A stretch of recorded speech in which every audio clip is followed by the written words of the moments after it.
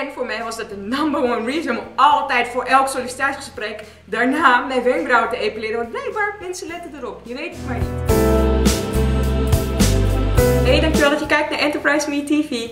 In aflevering van vorige week, die hier terug kan kijken, hebben mijn broertje Sinisha, die recruiter is, en ik met mijn sollicitatieervaring tips gegeven over een cv en over een motivatiebrief.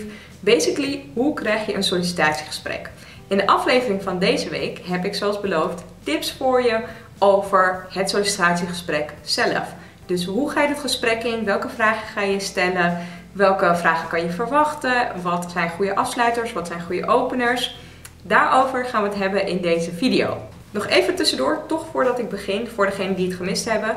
Zoals aangekondigd vorige week heb ik in augustus een zomerstop. Dat betekent dat deze video de ene laatste video is. Volgende week komt de laatste video voor de zomerstop online. En dan heb ik even een maandje pauze, zodat we allemaal van het lekkere weer kunnen genieten. En dan vanaf begin september begin ik weer met de najaarsvideo's. Daarbij ga ik zeker een video opnemen over wat je nou aantrekt naar een sollicitatiegesprek, wat bedrijven verschillen en welke indruk wil je maken. Ben je benieuwd naar deze video? Abonneer je dan hier op mijn kanaal. Dan krijg je de update automatisch binnen. Dan hoef je niet te wachten en elke keer terug te komen van hé, hey, wanneer heeft ze nou een nieuwe video? Laten we overgaan naar de video van deze week. Het sollicitatiegesprek. Ah! En ik gaan je in drie onderdelen tips geven over een sollicitatiegesprek, even in het algemeen. Het eerste onderdeel is de intro, dus hoe kom je binnen bij een sollicitatiegesprek. Het tweede deel is het middenstuk, echt het gesprek zelf. En drie is de afsluiting van het gesprek.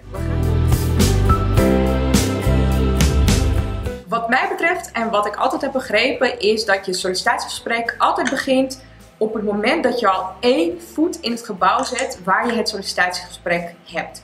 Soms zelfs daarbuiten als mensen je kunnen zien. Dus bedenk je heel goed dat als je al naar het gebouw toe loopt, dat diegene waarmee je het interview hebt, je misschien al aan kan zien lopen. En op basis daarvan al een indruk kan vormen. Nou, als je binnenkomt, je belangrijkste contact meteen is de receptioniste. Probeer al meteen een praatje met haar te maken, want zij kan je meteen dingen vertellen van, weet je, hoe was haar dag? Was het druk? Was het misschien niet druk? Daar, op basis daarvan kan je al meteen een goede indruk krijgen. Eén ding wat heel vaak gebeurt is dat um, als de baas een goede indruk van jou heeft gekregen, dan zal die altijd aan de secretaresse zeggen van, nou, wat vond je van die persoon?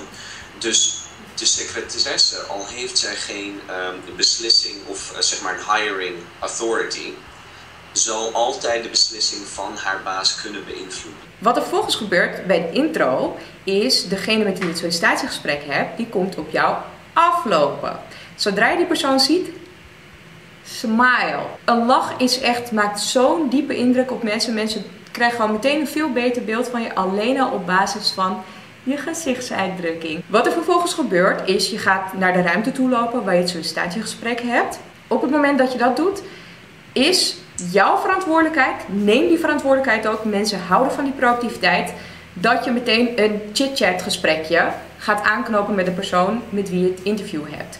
Dus praat over het weer, praat over de schoenen die die persoon aan heeft, praat over het geweldige gebouw waar je net binnen bent gekomen. I don't care, fake it till you make it. Echt, al is het de bosbloemen, klets gewoon. Zorg ervoor dat je al meteen een gesprekje hebt met die persoon voordat het echte gesprek begint. Want daarmee ben je al meteen aan het banden. En dan ben je dus binnen in de ruimte waar je sollicitatiegesprek gaat hebben. Dan vragen ze highly likely of je iets wilt drinken. Als ik je een tip mag geven, vraag altijd om iets te drinken. Al is het een glaasje water, want je gaat of een droge keel krijgen of je gaat op een bepaald moment iets nodig hebben om even vast te pakken als je heel zenuwachtig bent en je handen trillen. Dan heb je in ieder geval dat glaasje water wat je heel even vast kan pakken om heel even back to basics en even weer een beetje te ontspannen. 9 van de 10 keer zal de persoon die jou interviewt, zal ook dat glas water daadwerkelijk um, ophalen in plaats van iemand anders, secretaresse of iets dergelijks dit geeft jou in ieder geval de mogelijkheid om even rond te kijken, te acclimatiseren in de interviewruimte of de, het kantoor van de baas. Waardoor je ook veel rustiger wordt. Ja. Dus het, geeft, het is een tactisch doel ook. Ik ga je nu vertellen welke drie vragen je sowieso standaard altijd moet voorbereiden. Ze komen bijna altijd voor in een gesprek als ze niet vragen hoe cares, dan heb je ze in ieder geval voorbereid. Maar echt 9 van de 10 keer ga je deze vragen horen. De eerste vraag is, waarom wil jij bij dit bedrijf werken? De tweede vraag is, Waarom zouden we jou moeten aannemen? Want we hebben nog 100 andere kandidaten. De derde vraag is: wat zijn jouw sterke punten en wat zijn jouw minpunten? Deze vragen niet voorbereiden is echt gewoon jezelf in de voet schieten. Niche, hoe kan je deze vragen het beste voorbereiden? Eén ding wat je vooral moet uh, realiseren is dat uh, de werkgever of de persoon die jou interviewt, die heeft jouw cv. Dus hoe jij deze vragen antwoordt, uh, moet juist losstaan van jouw cv. Maar toch weer een connectie hebben met wat jij doet of hebt gedaan. Dus een van de dingen die ik altijd met de mensen die ik spreek, altijd als, als advies geef, is zorg voor een probleemoplossend gedeelte. En zorg ook dat je vertelt wat de impact was van, dat, van het oplossen van dat probleem voor de werkgever.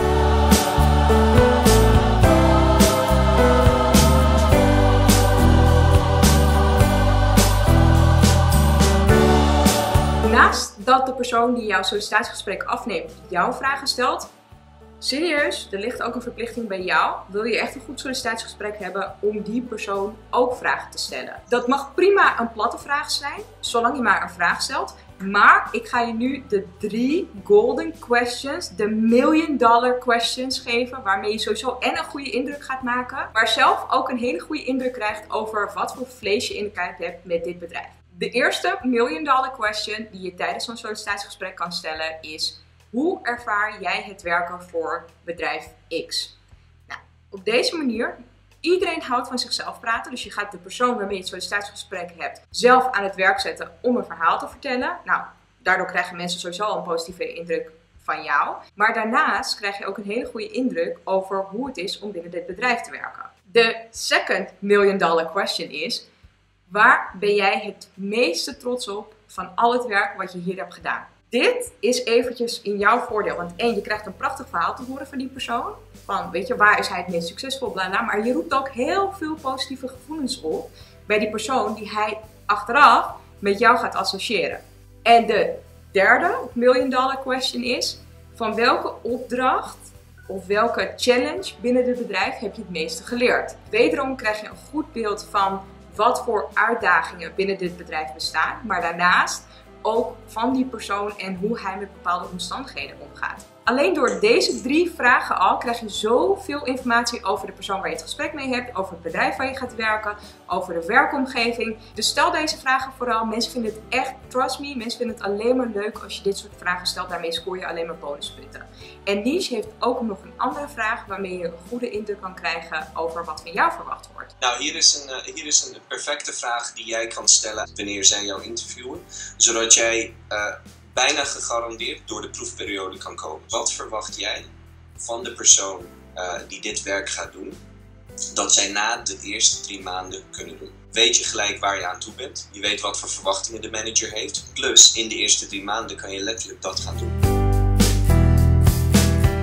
Uh, herken je nog dat gevoel dat wanneer jij uh, op een sollicitatiegesprek was gekomen en alles ging goed, je vond perfect, superleuk, superleuk bedrijf en functie, en je gaat weg en je denkt van een dag gaat voorbij, twee dagen gaan voorbij, drie dagen gaan voorbij, een week gaat voorbij.